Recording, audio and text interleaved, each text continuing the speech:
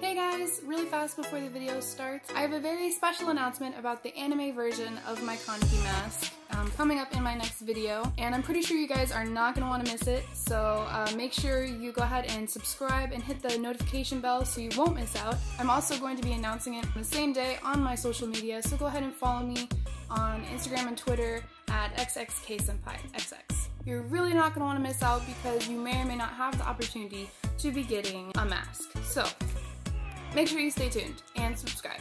Okay, let's get on with the video.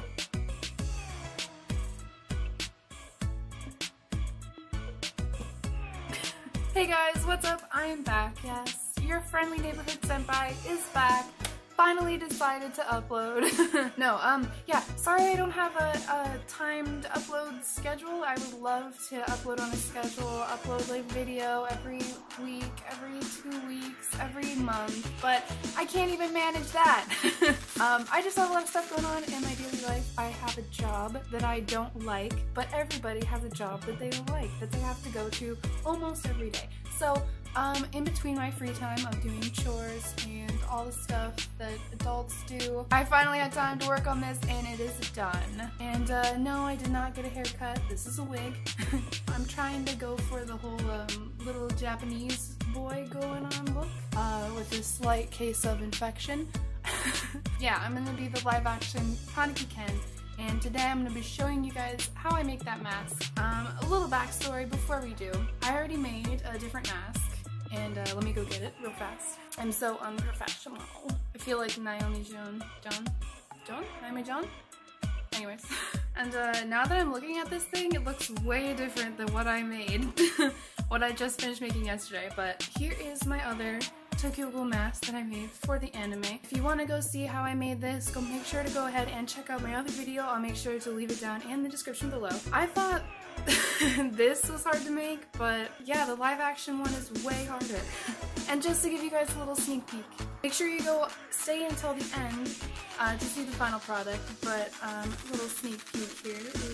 So if, if you guys want to know how to make this mag, this mask, please keep on watching. I mean, I don't sew and it's really hard to sew material like this. So, um, for example, if you look at a reference picture, I'll put it up here.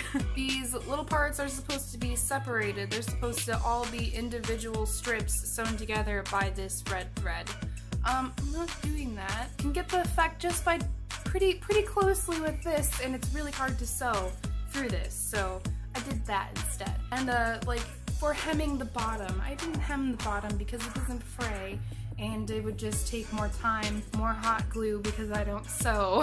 for example, also, the strap, it had a buckle, I used Velcro instead, and I also hot glued the strap, I didn't sew it. Not recommended, just as a heads up, because it doesn't stay together very well. But you can do it and it works for quite a long period of time. You just have to be a little careful with your, your little work of art that you've created. So, I don't know.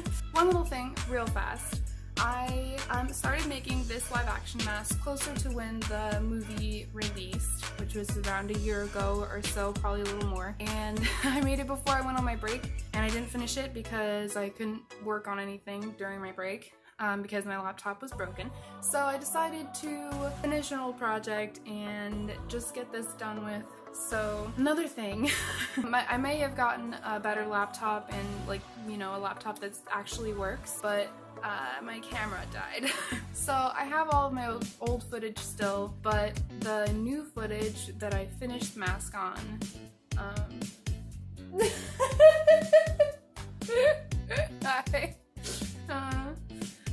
I was laughing because my fiance just like crept by in towels to take a shower. oh, that was great. Anyways, um, camera. That's what I was talking about. If the, no, what am I saying? If the video style that it was shot in will change, I'm going to be doing towards the end just little update videos. I can't actually record my process of what I'm doing because I don't have a tripod. Tripod. I don't know what's wrong with me today. tripod um, for my camera. So I can't record all of it. So I hope you guys aren't too mad at me but I worked really hard on this and I couldn't just let it go another year or so without getting finished. Uh, forgive me, I'm sweating. It's like 100 degrees in California right now. My air is having trouble. Um, but yeah, if you're new here, please be sure to give this video a like if you enjoy and subscribe to my channel. It really helps me out a lot. Um, yeah, let's let's just go. I've talked for long enough. I tend to talk a lot. I cannot speak. I'm just gonna go. Bye. what do you think? Should we start the video? Should we start the video? I don't know if we should. I can love on you some more instead. No, she says. Alright guys, so for this tutorial we're going to be doing a voiceover because I don't want to add captions to everything. It would take a really long time and this video is already going to be really long, so sorry in advance. What I've done so far is taken a plastic mask from the craft store and taken also two layers of Worbla, put them together, and molded that over the mask. You're going to want to make sure you have lots of reference photos, and what I've done so far is kind of square off the nose, get the nostrils formed, and make that little pinched part underneath the nose as well. Once you've gotten the general shape of the mask, you're going to want to go ahead and sketch out where the teeth are going to go and the hinges for the jaw. And also where the mask is going to cut off according to your face, pretty much. Now the final version of this did change a little bit. I had to add more onto the mask, but you'll see that later on. Once you have everything kind of sketched out, you're going to want to take a very sharp pair of scissors and carefully cut along those lines. Now, for the corners of the mouth, you're only going to want to cut about halfway up, and if you're having trouble, it is easier to heat up the Worbla and then cut it. But you're basically just going to be cutting the mask in half in a very careful way. So once you have the two pieces apart and you are kind of happy with how it looks, you're going to start forming the sides and getting that center part trimmed up. You want it to be as straight as possible because that's where the zipper is going to be and you know it's kind of in the center of the face. It needs to be perfect. And you're going to want to have a space in between the two pieces enough for your zipper to go. So make sure you don't cut too much off, but you don't want to have no space at all for the zipper.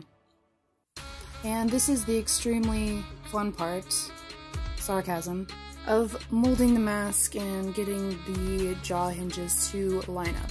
This part took an insane amount of time to complete and make sure it looks somewhat decent, but that's basically what you want it to look like. Now the good thing with Worbla is that although it is expensive, you can use almost all of the scraps and the waste products that you create. So again, taking that reference picture, you're going to heat up all of your Worbla scraps, and you can almost mold it like clay. Um, you just have to keep reheating it. And uh, also, please be careful if you're using Worbla or a heat gun, because these things do get hot. You can burn the Worbla, and you can also burn yourself, so please be careful. But your hands are going to hurt after a while, but uh, you finally got a strip that you're going to place on the mask. Make sure you heat up the mask a little bit, not too much, and the strip, and then carefully stick it on there. And you want to heat up both of the materials that you want to put together at the same time because um, it won't stick if one of them is not warmed up. And then once you're happy with that shape, go ahead and cut off the excess and start on the bottom jaw. Again, rolling out more scraps of Worbla, hands hurting, but it's okay because at least we're reusing things. We don't waste nothing. Throughout this whole project, I'm pretty sure I had a reference photo with me at all times, and also from different angles, which really helps in doing parts like this. Alright, now that we have the final shape of the gums kind of laid out, we're going to go ahead and smooth those down and just try to make them less prominent so they won't stick out too much uh, from the leather. And I just kind of use my thumbs and my fingernails to just kind of smooth out the edges without squishing everything entirely. I also had to add in extra pieces of Worbla to kind of fill things out and just make them more true to the mask. Alright, now that we kind of have every everything smoothed out and shaped the way that we want it to, again, make sure that everything lines up correctly and you have space in the front of the mask as well as on the sides for the hinges.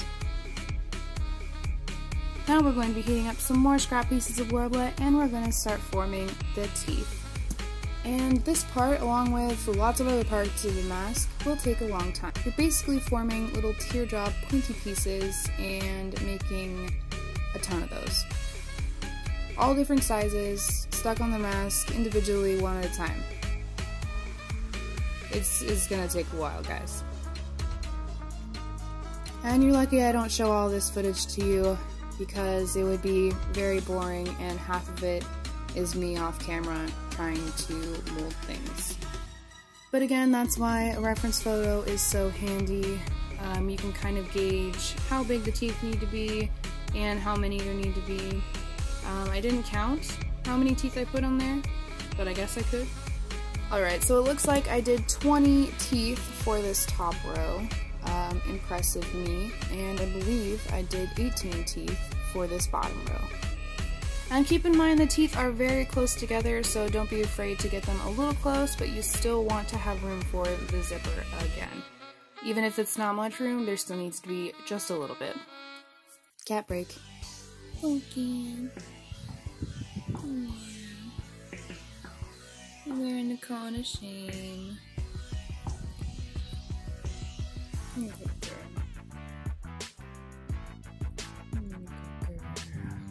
Yeah, gotta itch those ears. If you can't do it.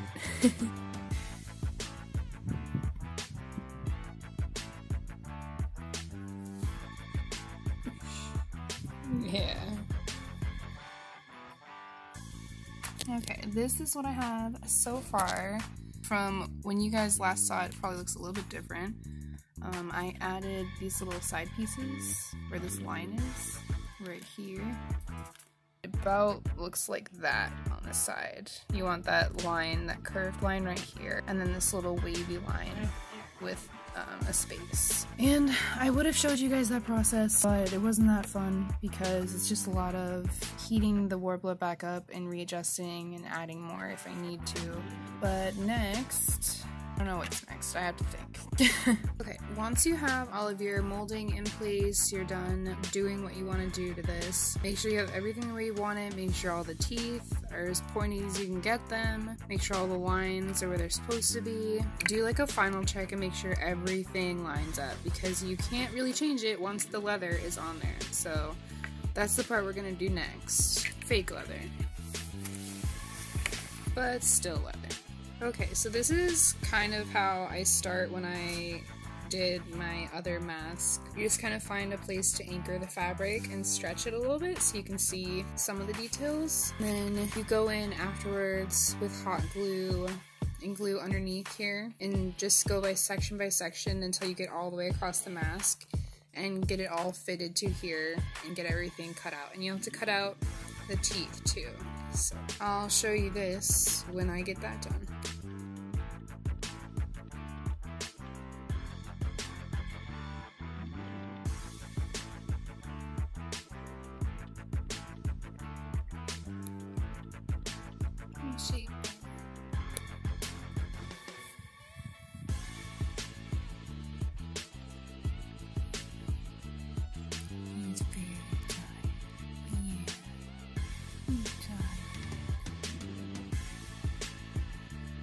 Okay, just a quick little update. I've started on the bottom jaw.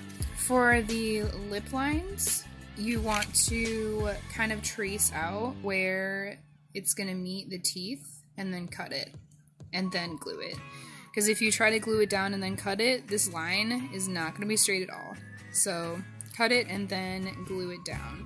With this, I started with the sides and then I kind of formed it around this little pieces and then I'm gonna finish this little gum line and wrap this bottom part and we'll see how it looks.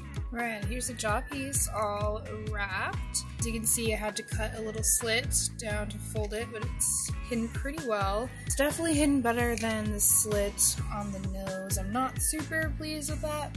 I probably should have put it on one of these sides here, but it's probably not going to show up unless you get super close, so I'm not too worried about it. So yeah, here it is so far. Um, I do have to fix the sides. This side doesn't light up all the way correctly, but I'll try and fix it. And next we're gonna move on to probably the neck and the eye patch. Okay, um, so what I've done now is I've made the eye patch piece and the two bolts. The bolts do look different than they do in the anime, as well as eyepiece, so that was a little bit more fun to make. Fun um, being sarcastic. For this, you're basically just cutting out a square, and I basically, you heat it up and then you pinch it and you create the lines and you fold it, and then once it hardens, you can kind of get the final shape out of it, and then I put the holes in it for the little eyelets. Now these eyelets have a little gem on them, but I didn't see that when I picked them up, so I'm just gonna put them in backwards, and they should work just fine. Bolts, I completely rolled up a bunch of my Worbla scraps. That's why there's a couple little wrinkles in it. But yeah, you just have to make a line down the side and yeah, just solid Worbla. kind of feels like mini bricks, mini rocks. I'll do the final designs on these when I paint them, so I'm not going to worry about these anymore just for now, we're gonna work on this. We're gonna cover it and add the eyelets. Let's go. Alright, this is the eye patch all covered and with the eyelets on it. I think it turned out pretty good, but there are these smaller details that go along the side and on these little crosses. I'm not really sure how I'm gonna do that, but maybe I'll just like scratch the little details into it. There's just like a border that goes all the way around and then on the little X's, it looks like there's an indentation. So yeah, I think I'm just gonna scratch those details on there and see how that works. Alright, so I know it's not even yet on the bottom, but I was just trying to get a rough estimate of like how wide it's gonna be for my neck. I'm gonna make these even too, but what I've done so far is basically cut out a strip to go along this whole thing, and then I cut out a U for the jaw, and I have hand stitched it yeah, and it goes up to about halfway on the side of the jaw, and it just kind of flows down this side, so when pieces are put together, it just kind of goes like a line down the side. We have the front slit cut out, so we can put the zipper in there. Probably gonna put Velcro in the back, and we try to sew as little things as possible on this channel. So I'm going to be hot gluing these parts down to hem them once I have them even. Yeah, just trying to hot glue as much stuff as I can. The only reason why I didn't hot glue this is because leather does not stick to leather. Fun fact. Okay, sorry if the lighting's bad, but here is where I'm at so far with the mask. I have added the zipper in there, which was a really, really difficult task. um, but I have the zipper in the front as well. I have hot glued it, and it looks great. And um, I also had to reheat it and fix the chin to make it um, project a little bit more. So there we go. Every time that I look at the reference picture, I always see new things, like how there's going to be straps up here. There's like, yeah, it's hard to explain, but there's just so many little details that I keep seeing when I look back at the new, or when I look back at the mask. But for the zipper, what I had to do is add two layers of craft foam, the little just sheets like this. And I layered those little strips and I put them onto the zipper because the way that I made the teeth for like the top and the bottom, they're really, really close together. And in the picture on the movie, they're really, really close together, just about like this. But somehow the zipper still has to get through there. It works, but you can't really unzip it when you're wearing it. Does that make sense? Because I don't think they could do that in the movie either. And they made it look like it when he unzips his face in the movie, but it just, yeah, I don't, I don't know how they did that. I think it was just special effects. I think you actually have to take the mask off and unzip it and then wear it like that. Here, I might as well show you, right? So the way that it unzips is you kind of fold the zipper under here and you push it along and it'll eventually go over to the other side. So that's how you zip it and unzip it. I will be replacing this little tab with one that matches the design of the mask.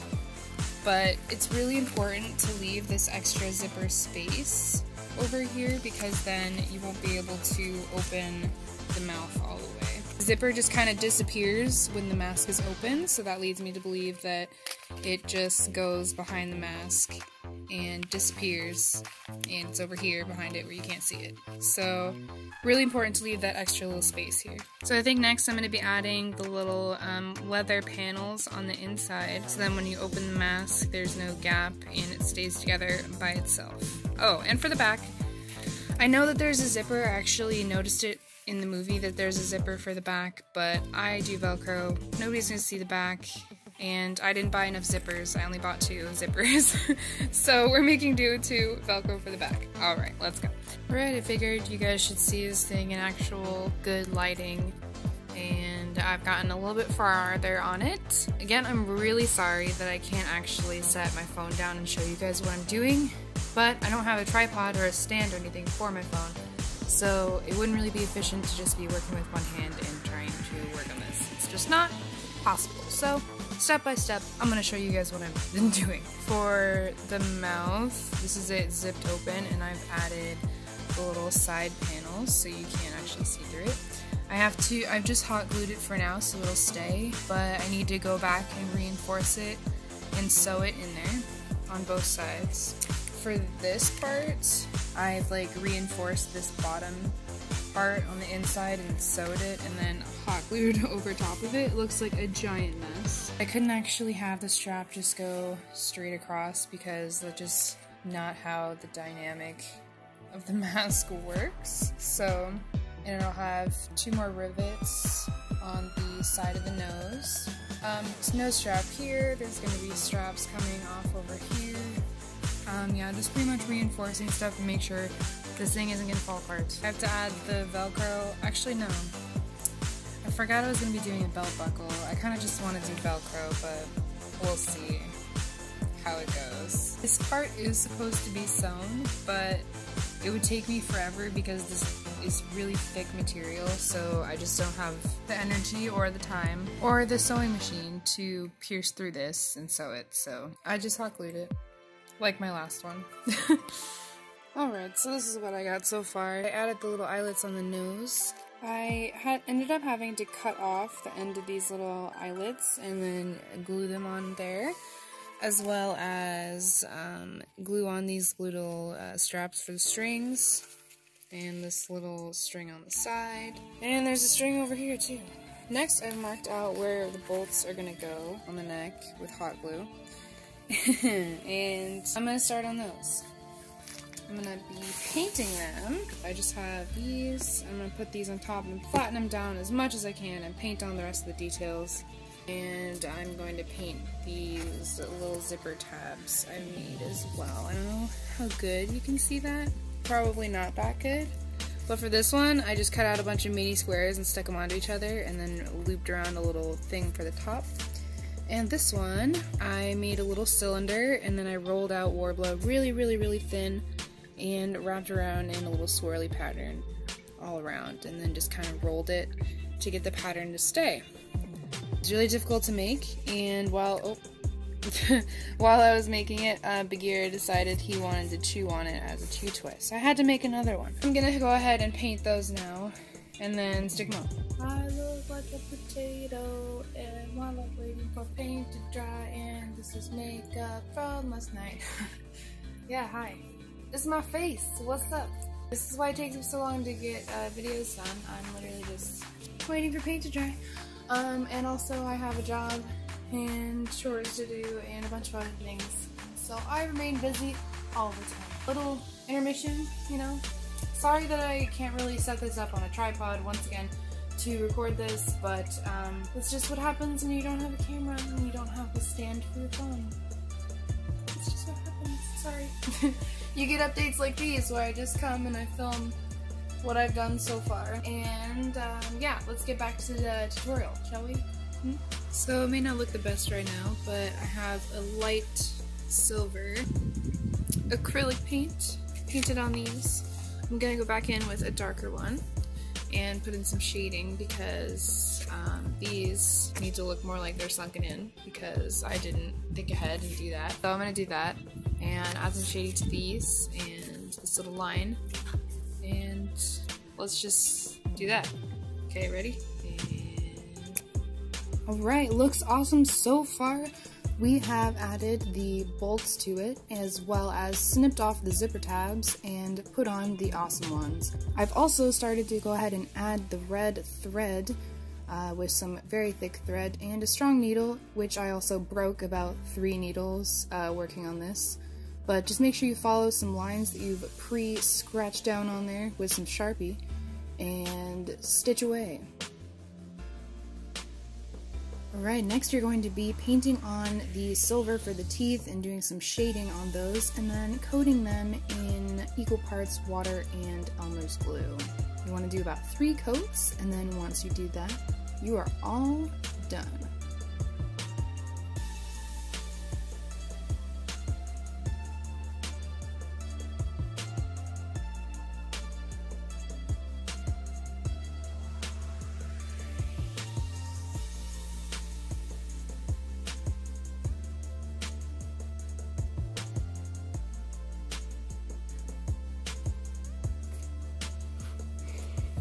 Side by side comparison, which one is creepier? You know, I'm not sure, I just, I don't know. I'll, I'll leave it up to you guys. I don't know which one's creepier, but, uh... uh what's wrong? Something matter? Do I have something on my face?